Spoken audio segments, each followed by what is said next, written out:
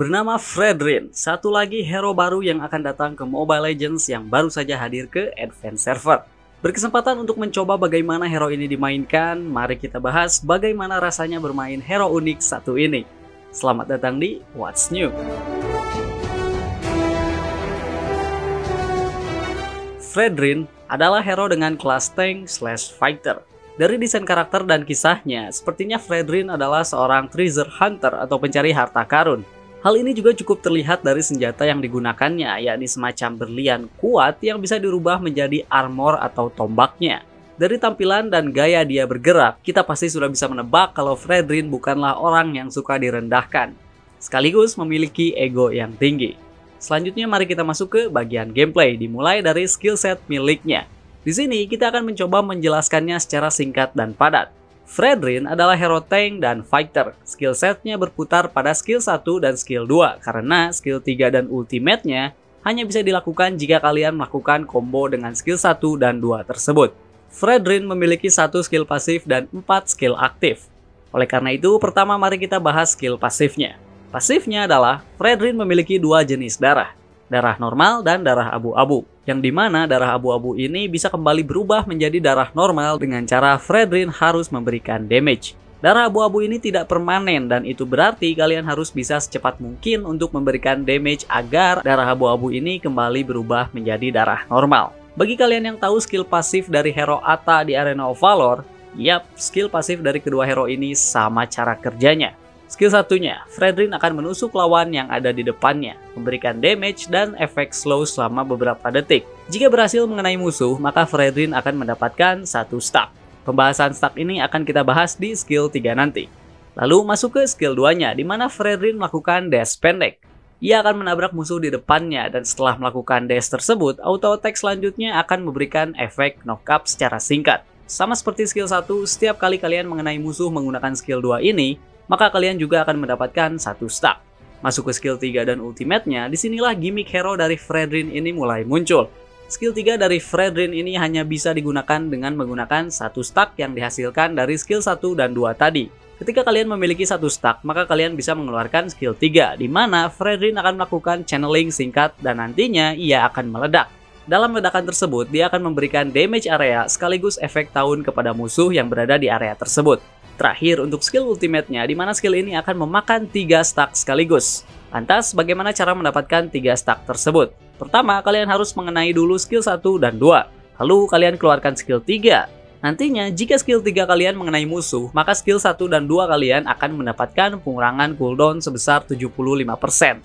Dari sini, kalian bisa mengeluarkan lagi skill 1 dan 2 tersebut. Jika kalian berhasil mendaratkan semua skill ini, maka kalian akan bisa mendapatkan 3 stack. Itu berarti kalian bisa mengeluarkan skill ultimate-nya. Skill ultimate-nya sendiri cukup mirip seperti skill ultimate dari Tigreal atau Lolita, di mana Fredrin akan melakukan channeling singkat dan menyerang musuh di depannya dalam bentuk setengah lingkaran. Bagi musuh yang berada di bagian tengah area ini, maka mereka akan mendapatkan damage yang paling sakit, sedangkan musuh yang hanya berada di area ujungnya hanya akan mendapatkan damage biasa saja. Hal yang paling penting dan perlu kalian ingat adalah skill ultimate ini hanya akan bisa digunakan ketika semua combo skill 1, 2, dan 3 kalian berhasil mengenai musuh. Jika gagal, maka skill ultimate ini juga tidak akan bisa kalian gunakan. Itulah kekuatan utama dari Fredrin ini.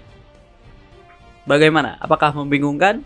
Kalau kalian menyaksikan penjelasannya lewat video atau membaca seperti ini saja, kita yakin kalian akan cukup merasa kebingungan. Tapi kita yakin ketika kalian mencoba memainkannya langsung dalam game, kalian pasti akan langsung mengerti cara kerja dari hero ini. Seperti yang kita katakan tadi, kalau Fredrin berfokus ke skill 1 dan 2, sedangkan skill 3 dan ultimate-nya terasa seperti finishing move yang tidak bisa digunakan sembarangan. Walaupun rumit, semoga saja penjelasan singkat ini bisa kalian mengerti. Oke, terakhir, bagaimana sih rasanya memainkan hero 1 ini? Well, sejauh ini ada dua kata yang bisa kita katakan untuk hero ini. Kuat banget. Fredrin adalah hero tank dan fighter yang memiliki paket lengkap. Damage yang dimilikinya cukup bagus berkat skill 1 dan 2-nya. Lalu sebagai tank, ketahanannya bisa berasal dari skill pasifnya. Selama Fredrin bertempur, maka dia akan sulit dibunuh. Kemampuan crowd control yang dimiliki oleh Fredrin menurut kita juga kuat banget. Di sinilah kekuatan Fredrin paling bersinar. Dia memiliki efek slow, efek knock up, dan tahun area. Skill 3 yang merupakan tahun area ini menurut kita adalah aspek paling kuat dari Fredrin sebagai tanker. Areanya cukup besar dan efek tahunnya juga cukup lama. Skill ini seakan membuat efek tahun dari Gatot Kaca atau Belerix terasa biasa saja. Apalagi jika ditutup dengan skill ultimate-nya yang di mana damage-nya cukup sakit karena sifatnya ini scaling.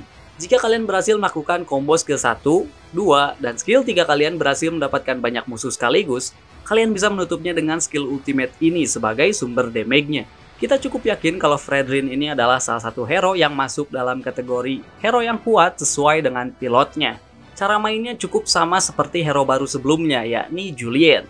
Singkatnya, bagi pemain yang tidak tahu cara melakukan combo semua skill hero ini, maka potensi dari Fredrin juga tidak akan bisa terlihat. Tentu saja akan ada kemungkinan kalau Fredrin versi Advanced Server ini memang masih belum balance, mengingat itulah tujuan dari Advanced Server. Jadi, masih ada kemungkinan kalau Fredrin ketika dirilis ke live server nanti akan berbeda dengan versi yang kita mainkan sekarang ini. Masih ada juga kemungkinan kalau musuh yang kita lawan ketika menggunakan hero ini memang memiliki skill yang kurang bagus. Sehingga kita merasa kalau hero ini sangat kuat, padahal hasilnya masih bisa berbeda. Dari pengalaman kita bermain hero ini, Fredrin masih terasa seperti tank inisiasi pada umumnya. Tapi dilihat dari skill set dan damage yang diberikan oleh Muntun untuk versi yang sekarang ini, ada kemungkinan kalau Fredrin ini digunakan di banyak role sekaligus. Mulai dari tank, support, jungler, atau bahkan XP lane sekaligus. Sama seperti kebanyakan tank hybrid fighter pada umumnya, pemilihan item untuk hero ini juga bisa beragam. Entah itu full tank agar hero-nya sulit dibunuh, bisa juga full damage biar bisa jadi glass cannon, atau bahkan hybrid saja agar terasa lebih balance. Dari segi pemilihan item, kita bisa menyamakan Fredrin ini sama seperti Tamus contohnya. Kemampuan snowball dari Fredrin juga cukup terasa, jadi jika kalian berhasil memenangkan lane menggunakan hero ini, kalian bisa terus mendorong musuh tersebut sampai kalian bisa menang.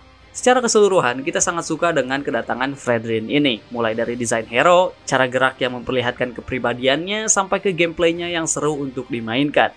Menurut informasi dari para leakers Mobile Legends saat ini, Fredrin sepertinya dijadwalkan untuk dirilis pada bulan Agustus mendatang. Kira-kira satu bulan dari sekarang. Itu saja mungkin video singkat kita mengenai hero terbaru Mobile Legends bernama Fredrin.